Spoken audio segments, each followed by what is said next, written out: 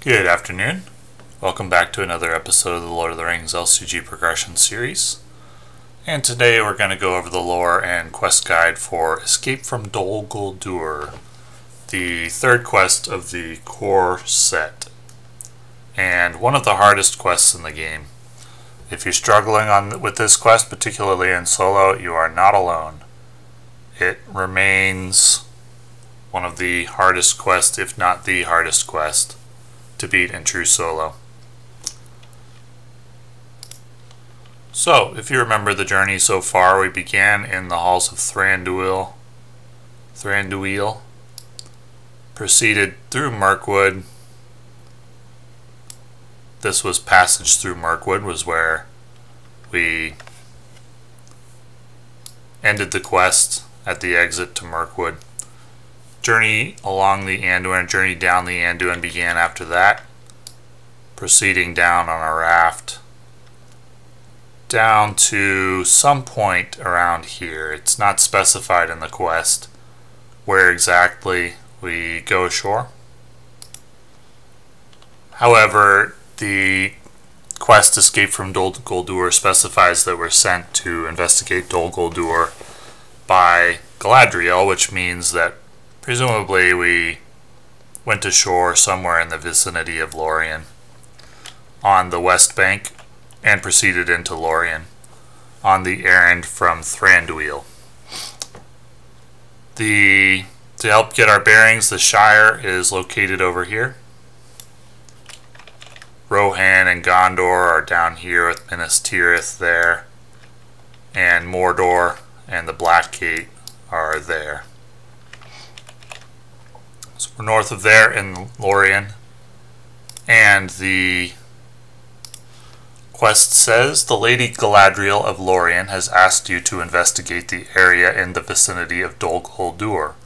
While doing so, one of your allies was ambushed by orcs and captured, captured and is now held in a dungeon cell. So Dol Guldur is located here in the southern part of the Forest of Mirkwood.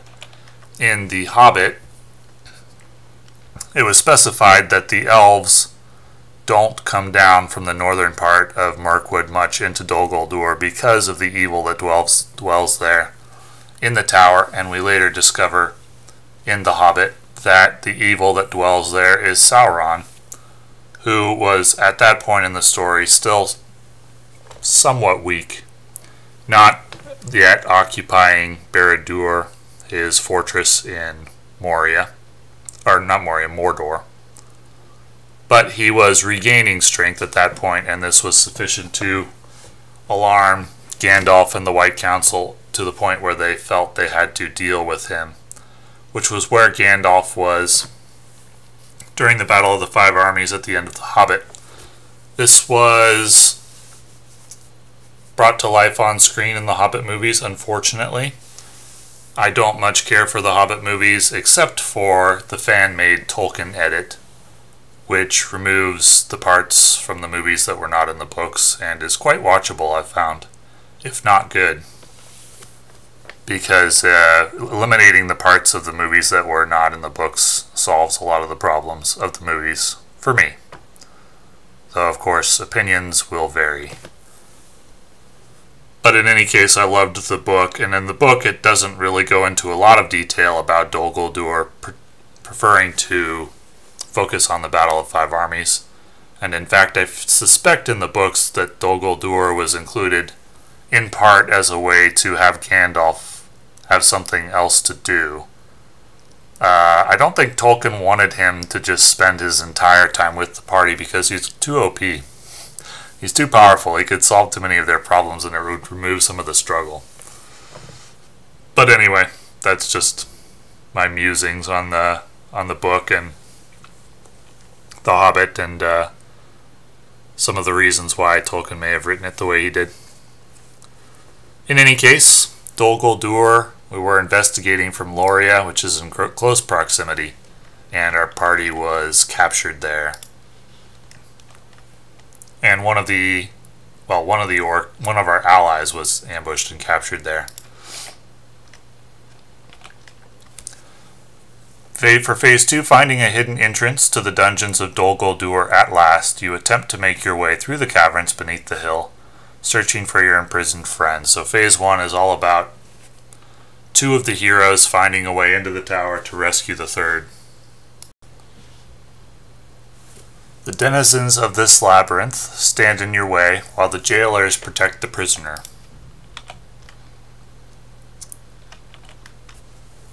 Once you have found your friend and possibly engaged the Nazgul, or possibly it hasn't happened yet, following a thread of sunlight, you discover a cavern opening leading out through the side of the hill. Stationed outside the cavern mouth, the cave mouth, however, is a large group of orcs. So, this entire quest takes place in Dol Guldur and around Dol Guldur as we try to escape after being captured. The quest introduces a new mechanic, new at this point in the game, which is a guarded objective. For any player that's new, anytime you see one of these cards, an objective which is guarded, it may come out of the encounter deck or it may start in staging as it does in this quest. Anytime you see one that says guarded, it means you need to reveal a card from the encounter deck and attach it to the location.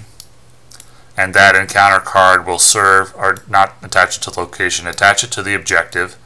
And that encounter card will serve as a guard for that objective.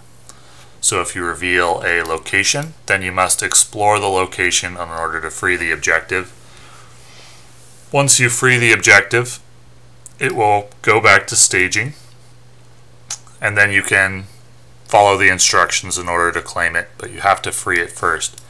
If you attach a location, if you reveal and attach a location, then you have to explore the location. If you attach an enemy, then you have to kill the enemy. If you attach a treachery, then you just have to resolve the treachery and then the objective will be free for you to claim. So that's how a guarded objective will work. Now, this quest is very, very challenging. And the first challenge that you face is that you have to that you start with three objectives in the staging area, which means you start with three encounter cards and that can be quite formidable if you get the wrong cards. In fact, it's so formidable that I would guess that 90 90 something percent of the attempts that fail this quest in true solo will fail at setup. Basically, you deal the cards and you've dealt yourself more than you can handle considering you only start with two heroes. 90 more than 90% probably 95 to 99% of the setups that you'll get, uh, you'll be incapable of dealing with in true solo. So if you want to beat this quest in true solo, my advice is simply to concede immediately on setup if you don't get the setup you're looking for. And continue doing that until you do get the setup you're looking for. It's not very thematic to do that, and it doesn't feel good to do that. It feels a little like cheating. To just concede it setup over and over and over until you get the setup you want. But if you want to beat this quest in true solo, that's what you have to do in my estimation.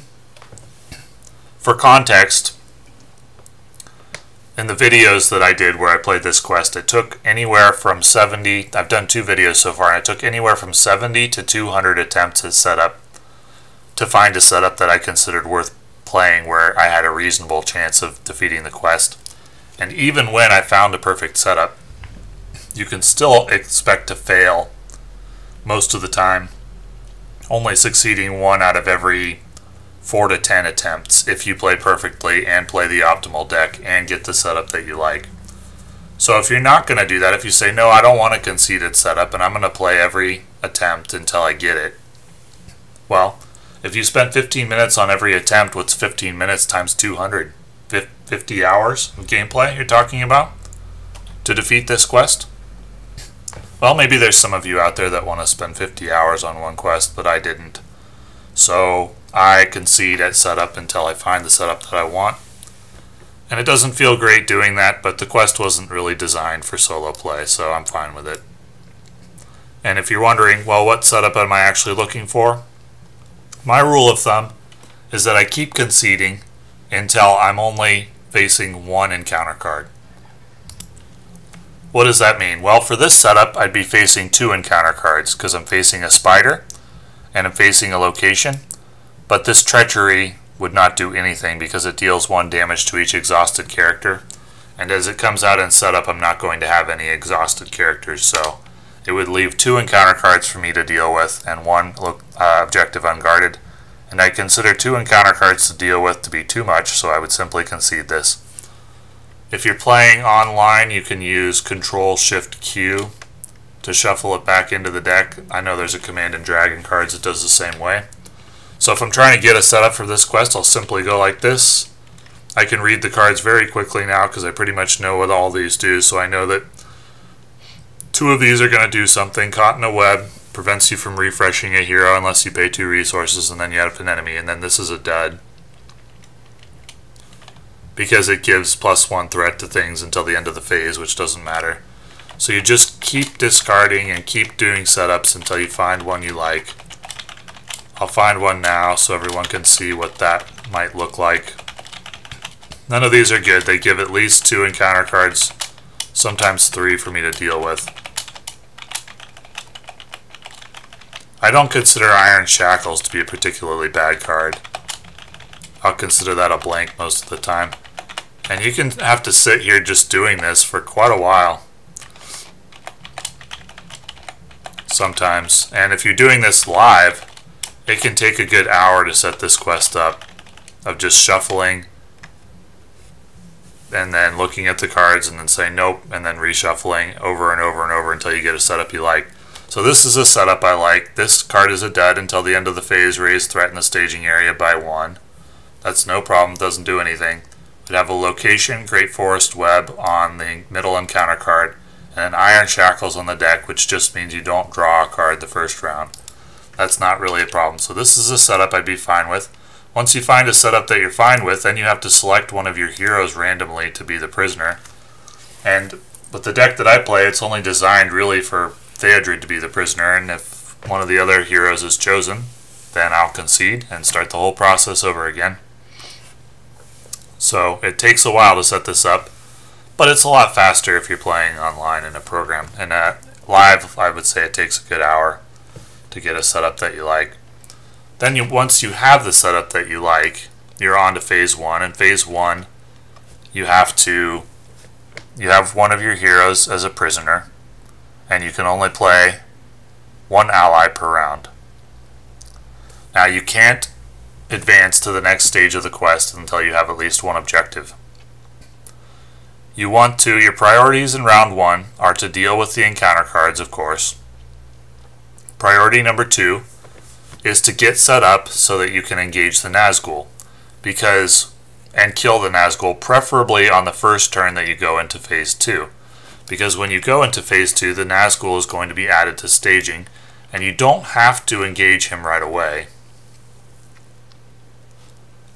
He says so in, in later quests the if a card's going to be added to staging it will typically say it on the quest. This is a case where a card is out of play, but it says on the card itself when it will interplay. It's a minor thing, but typically in later quests you'll see it listed on the on the quest card, not on the actual card. But when the prisoner is rescued, you move the Nazgul of Dol Guldur into the staging. So, sorry, it doesn't engage right away when you proceed into phase two. You do have one more round. You'll proceed into phase two You'll make one progress at least on phase two. You'll rescue your third prisoner, your third hero, and then the Nazgul will immediately engage. And if you're over 40 threat, it's going to engage you right away. If you're not, it's just going to contribute 5 threat against you.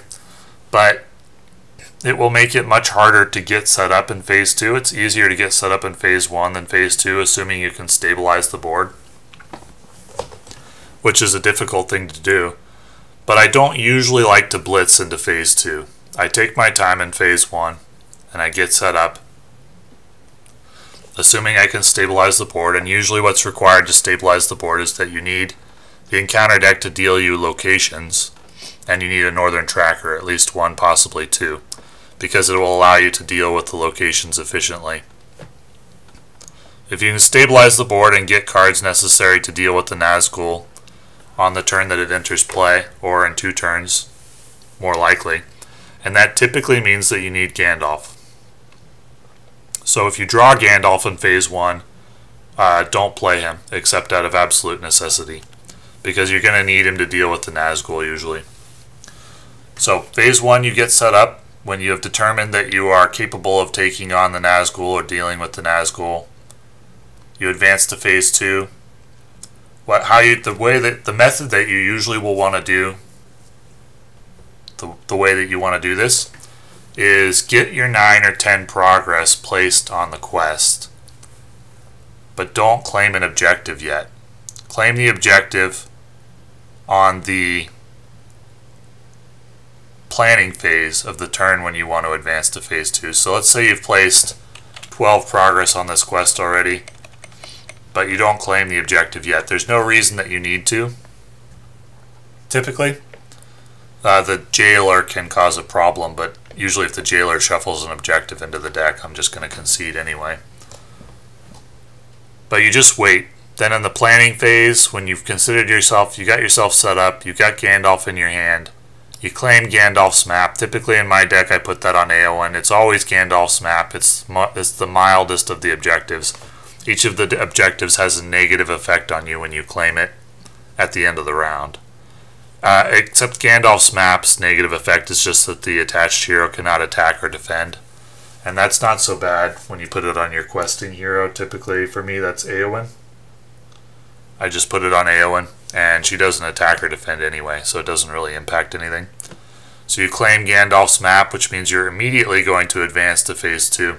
With quests, if you're new to the game, you advance to the next stage immediately when the conditions are fulfilled. You don't wait until the end of the round or even the end of the phase. So the second you claim Gandalf's map, if you've already got the progress on the quest, then you advance to the next stage. And when you advance to the next stage, then in the same round, you can quest, put your one progress here, and rescue, or however many progress it is. Your third hero will be flipped face up, he's rescued. The Nazgul will interplay. And then if you've played Gandalf already, uh, ideally you'd like to have sneak attack Gandalf, because then once it enters play you can sneak attack Gandalf and deal some damage to him during the combat phase and then have the Nazgul engage. Well, first you'll engage, and then you'll have, you'll sneak attack Gandalf, have Gandalf deal some damage, and then Gandalf can tank the attack. You've got to get lucky, and then you only have to deal 8 damage to him, 5 more than his shields to finish him off. You've got to get lucky because he has an ability after a shadow effect is dealt to him and it resolves. The engaged player must choose and discard one character he controls. What that means is if he gets a blank shadow card, no problem. Nothing happens. If he gets a shadow card that does something, you discard a character. So, Hasty Stroke can be good. I don't think I did run Hasty Stroke in my deck, I just hope for the best. But it can be good for preventing that.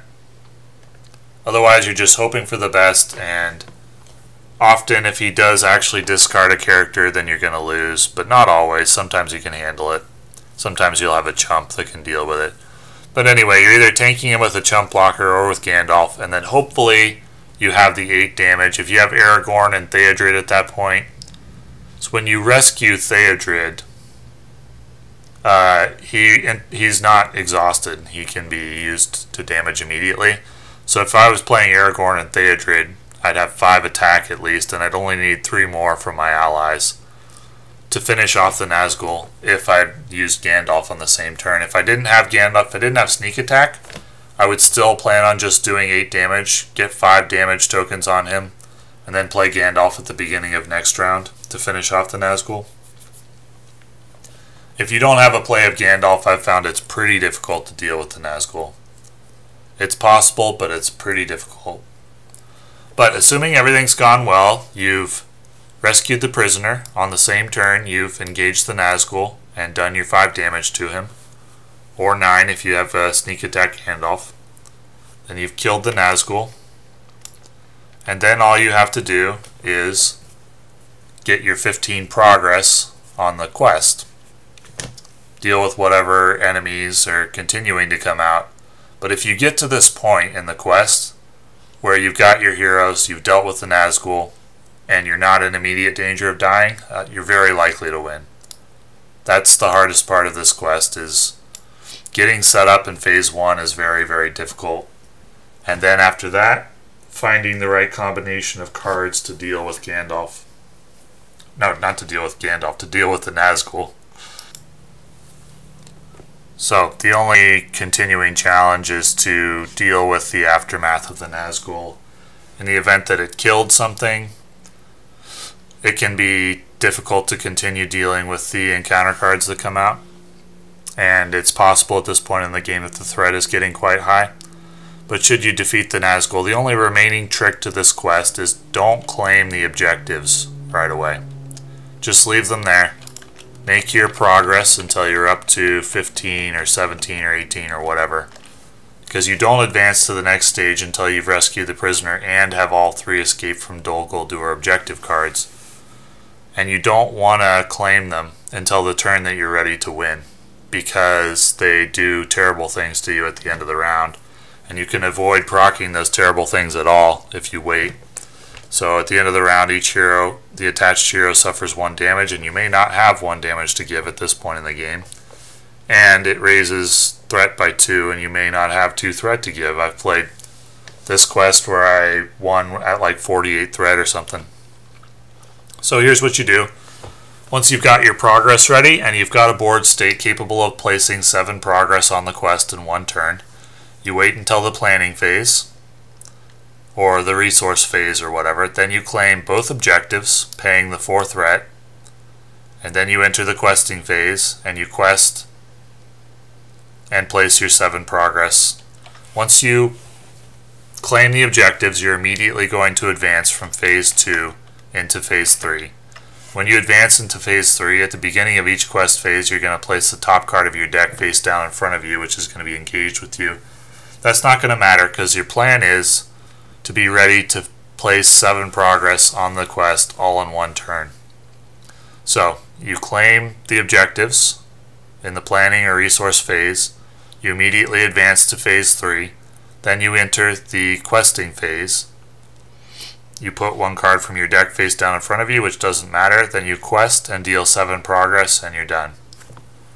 Under no circumstances do you want to advance to phase 3 with the Nazgul still alive?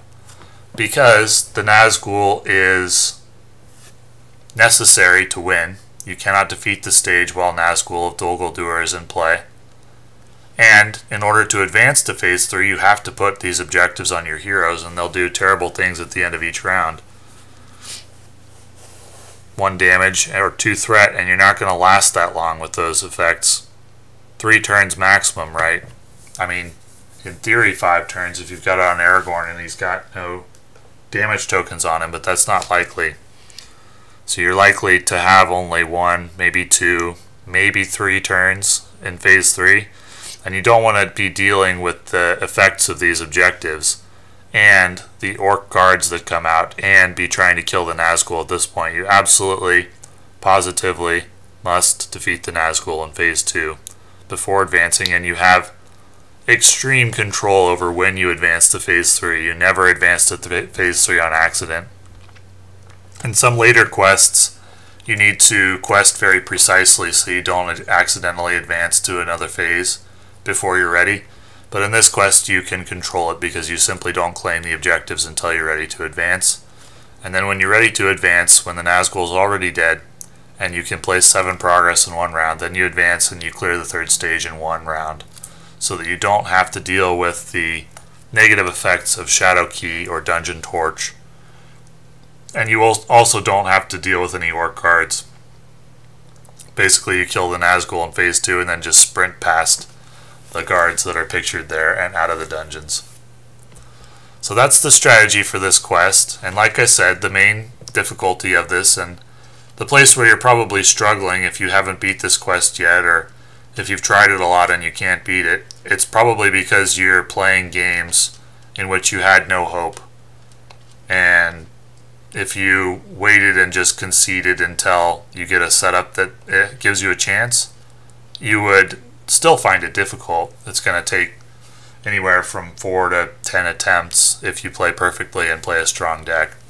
But you at least have a chance. If you play a lot of attempts where you really have no chance at the start because of the setup, uh, I mean, it's more thematic to do it that way, but man, it's going to take a long, long, long time to beat this quest. And uh, not being inclined to spend 50 hours on one quest myself, I choose to concede at setup until I get a setup that I like, and then I can beat the quest in usually 1 in 4 to 1 in 10 attempts. And once again, the setup that I like is just one encounter card to deal with. So, hopefully that is useful. If you're having trouble with this quest, I would not blame you at all because it's very, very, very difficult. And I think every player who's ever played this game or this quest in solo, true solo play, has struggled quite a bit with it, including me. But it is winnable, and I emphasize that because I've seen players many times on the forums thinking it is not winnable in true solo play, and that is just not true. You just have to be willing to concede over and over and over until you get the setup you like. But I enjoy the challenge of this quest. I think it's poorly balanced. It definitely could have been uh, balanced for solo play, and the, and the campaign mode is much easier because you can actually choose which hero is going to be captured if you play the campaign well, campaign mode well from the revised core set and that's very helpful. So the win rate is much, much, much better in campaign mode than it is in true solo non-campaign mode.